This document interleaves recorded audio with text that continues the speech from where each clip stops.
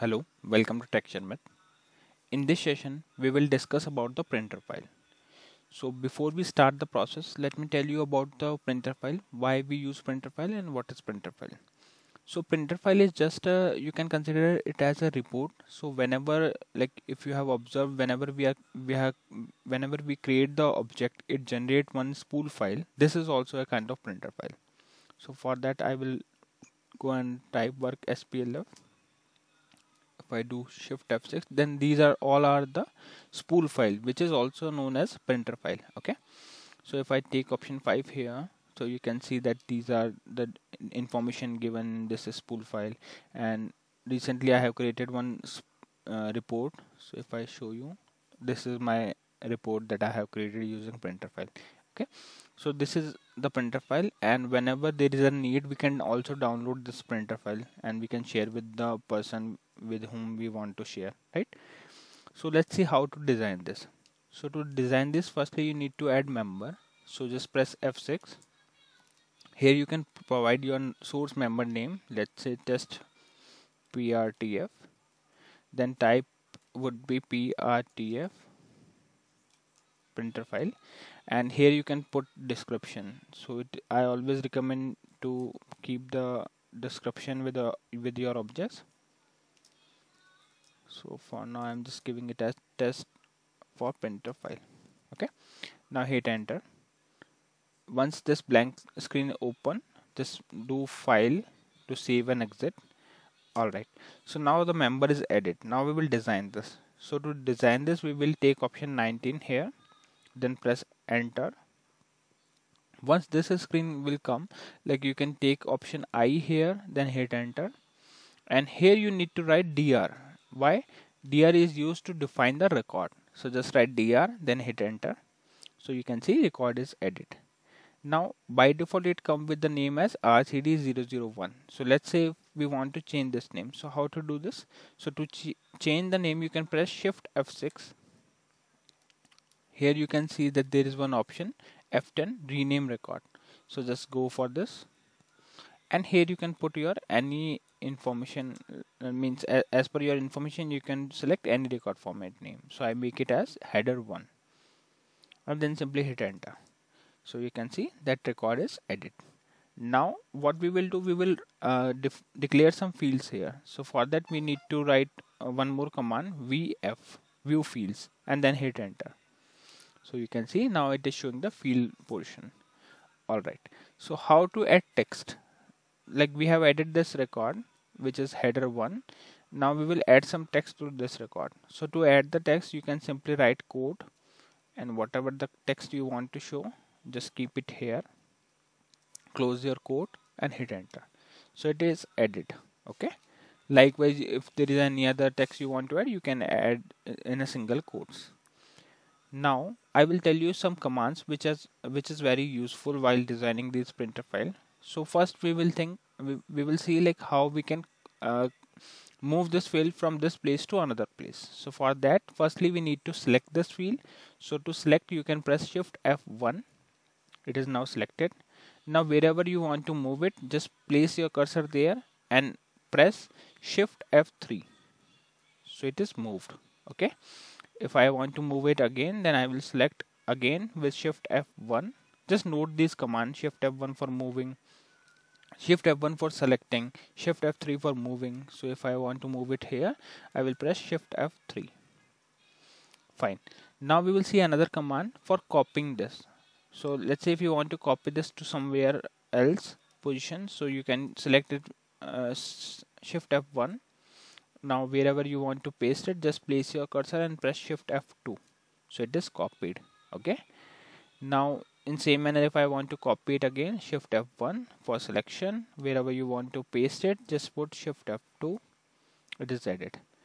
Alright now we will see another command for deleting this. So if it is not required you can select you can just place your cursor here and press shift F4 in this case there is no need to select. You can simply place your cursor and press shift F4 okay? So this is a way through which we can delete the field alright so this is normal text. Now we will see how to add the fields. So to add the field you can press F1 F11 sorry.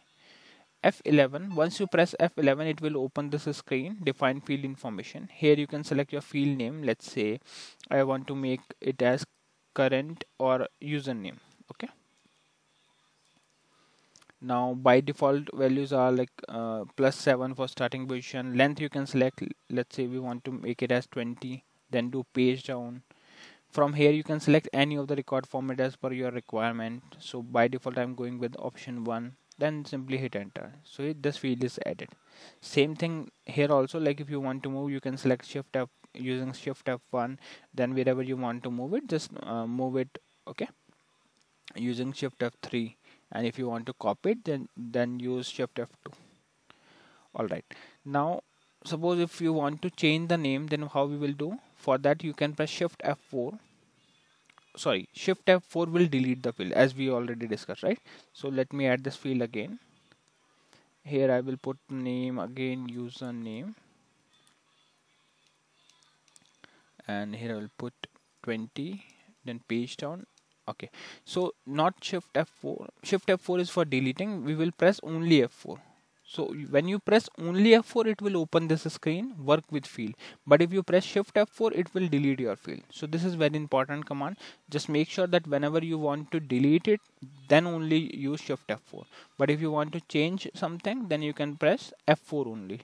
And here if I want to change the name I can directly take option 2 here open it and here I can make changes. Let's say if I want to add uh, p1 as suffix uh, so I will p1 as prefix then I can keep it here and simply hit enter. So it is changed. Likewise if I want to delete it I can take option 4 here okay? And if you want to set any keyword to this field you can take option 5 as well. So these are the keyword few of them we will see in the upcoming sessions like how to use these keyword. But for now we are just going with the default values.